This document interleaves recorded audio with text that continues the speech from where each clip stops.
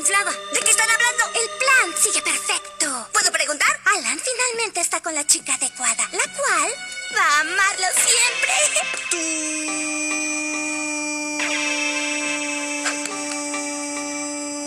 ¡Tú me mentiste! Entonces se los diré a todos. No, no lo harás, a menos que quieras que Penny sepa que besaste a Carmen. Muy tarde. Ah.